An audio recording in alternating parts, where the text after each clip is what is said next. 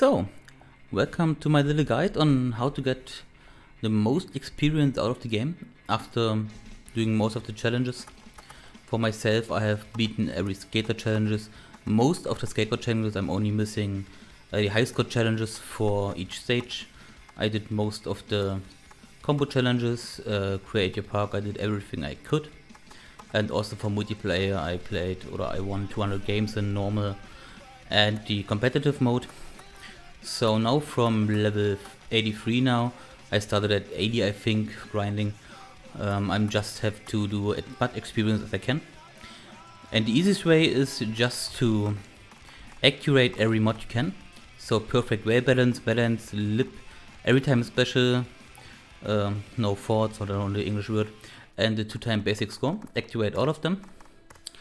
And then go to Skate Tony Hawk Pro Skater 2 and the Hangar first level. I think it's the easiest way to do it. Just load in there. And immediately when you spawn, do a manual. So I just press up and down right now all the time. So when I spawn, I do the manual. I don't have to correct it because I got the mods on. But you get XP anyway, so it's the easiest way to turn your mods on. So do a manual for 10 seconds. Then you get the most XP out of it. Same for a lip and for a rail. So you have to do 10 seconds to get 25 experience point for each of them. You will see at the end. Uh, most of the time I just do a manual here and then grind all the way to the other side. Because the last thing you have to do is a 250k combo. I just do a 900 here and another 900 and I easily get to 250.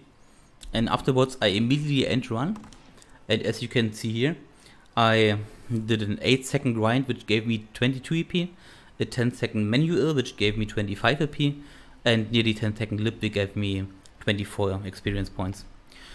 Uh, the high score is kept so as you can see right now I only got 24 for the score and for the combo. So in total 48 extra points. But the experience for score and combo are kept from the time you play. So the maximum amount you can get is the 250k combo. Then there is no more experience points to get in this run. But if the run takes longer, then you get more experience for uh, points for it. For example, I got 24 points right now. I think it were about 20, uh, 35 to 40 seconds this one. I just do the same again and don't end the run that fast. I just play it a minute and when you see when it's exactly a minute over, then you get 40 experience points out of it. So I um, I just tell you right now that I will get 40 experience points for the score and for the combo, so 80 extra points this time. I just do it normally, just do about 10 seconds here, then grind all the way to the other side. Um, I got the 900 on up, down, and then uh, the circle button. I think it's the easiest way, so it's up, down, grind, up, down.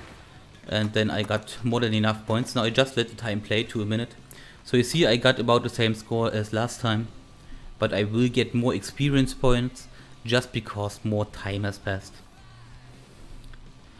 Um, why I end the run immediately after getting the high score is because I uh, took my notes and wrote down how many, so after one minute I end the run right now, you see I get 40 experience points for score and for, for the combo this time.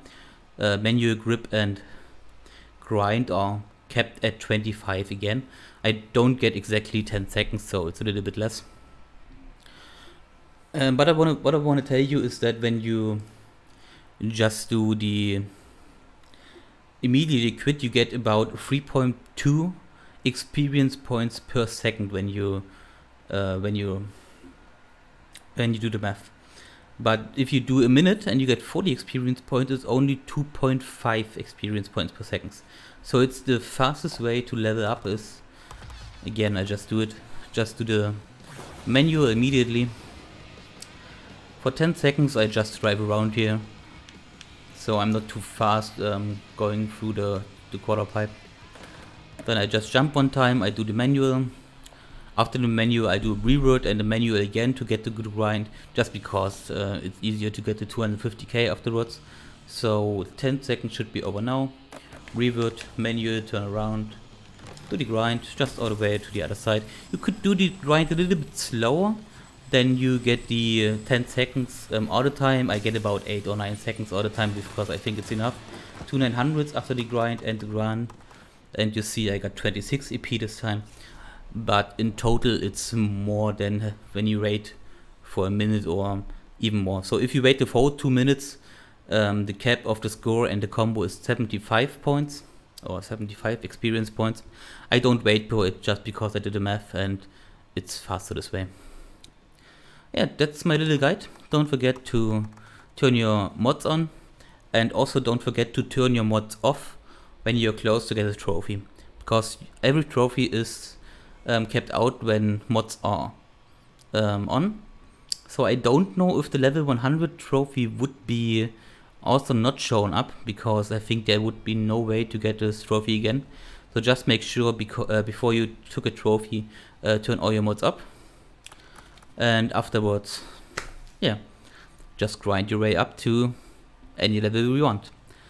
I will grind gonna exactly this way to level 100 and I hope this guide helps you a little bit to get close to it too. So have a great day and goodbye.